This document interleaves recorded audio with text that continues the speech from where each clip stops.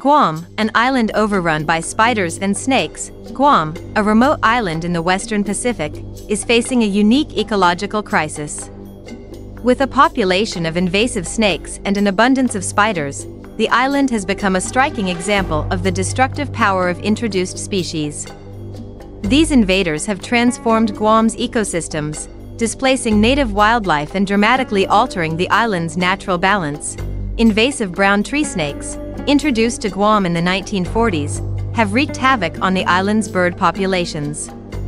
These snakes, likely stowing away on cargo ships, quickly became a dominant force in Guam's ecology. Within four decades of their arrival, they eradicated nearly all of the island's native bird species. Out of the original 12 bird species, only two survive today. Clinging to remote caves and urban areas, brown tree snakes are relentless hunters. With a population of around 2 million on the island, these snakes will devour anything they can catch, including small mammals, lizards, other snakes, and even human food. Henry Pollock, executive director of the Southern Plains Land Trust, describes them as voracious and notes they will even consume one another.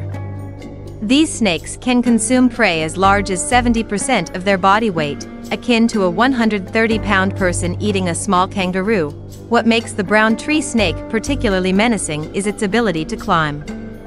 In 2021, researchers from the University of Colorado discovered a new climbing technique employed by these snakes. Called noose climbing. This technique allows them to wrap around cylindrical objects, hook their tails around their heads, and swing like humans climbing trees. To protect the few remaining native birds, Conservationists have installed snake-proof nest boxes and smooth metal poles that are too difficult for the snakes to scale. Despite numerous efforts by conservationists to control the snake population, ranging from traps and poisons to experimental bioweapons, brown tree snakes continue to thrive on Guam.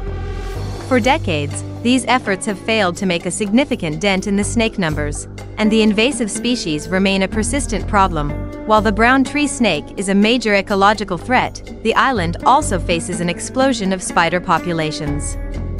Unlike other Mariana Islands, where spiders are relatively scarce in the wet season and abundant in the dry, Guam's spider population is constant year-round.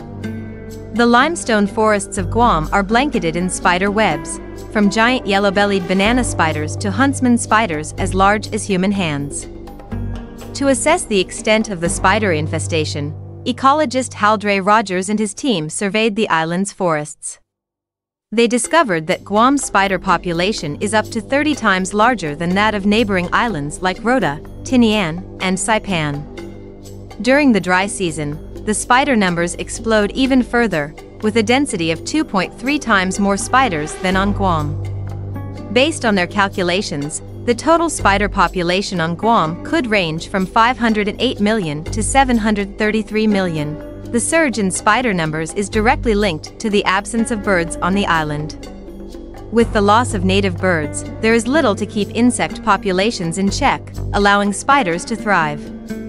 This phenomenon mirrors findings in other regions, such as the Bahamas, where the absence of lizards led to a tenfold increase in spider numbers.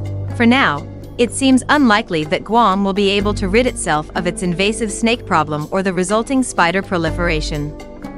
The brown tree snakes and the overwhelming spider populations they support are likely to dominate the island's ecosystems for the foreseeable future. Thank you for watching the video. I hope the above knowledge will help you in life. Remember to like and subscribe to the channel to watch more interesting videos. Goodbye.